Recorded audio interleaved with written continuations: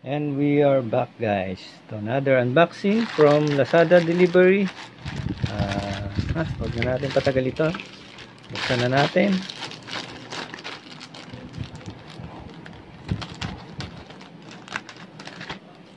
Tingnan natin kung ito legit o bato ang laman sa loob. First up, uy, may resibo.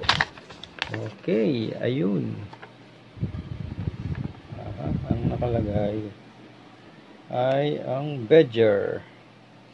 Ang seller. 339. Ah, power bank pala to. Ito yung order kong power bank na 10,000 milliamperes. Ah, ah, sige, let's proceed. Maganda naman ang packaging niya. Naka bubble wrap. Okay, tumutunog, tumutunog.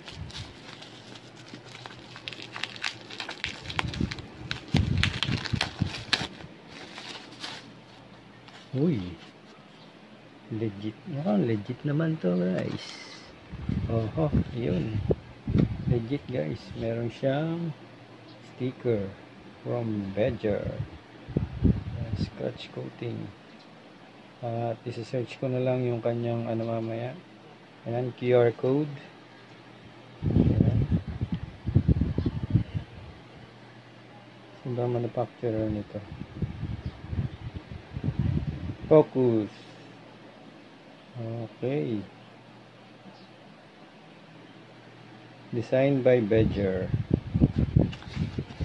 Sana natin.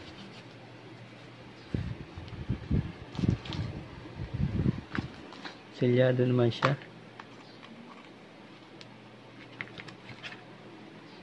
Natin patagalin ito. Let's unbox this box. Wait, wait, focus. Focus. Okay.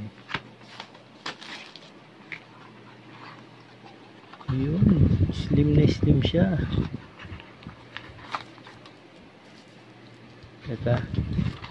May, may itong laman ng box. Yung power bank itself.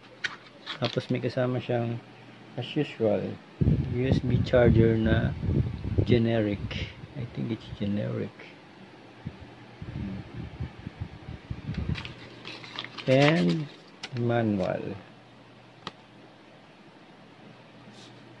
Na hindi naman natin binabasa.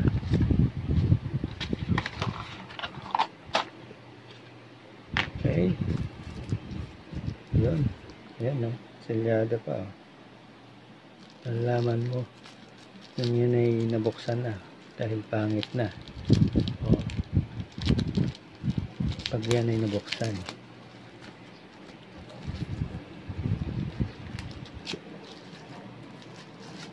Yun. Bakit parang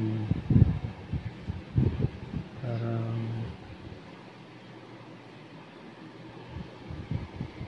parang gamit na ano ba yan? Parang gamit na. Hindi siya ganong kakinisan. Check natin kung meron siyang mga galos mga scratches.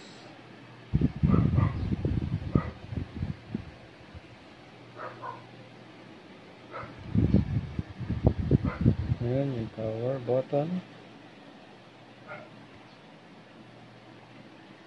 2000 milliampere. Merong 1000 milliampere. Ayan ang charging cable port USB cable port. Okay. Check na natin kung siya ay magpa-power on.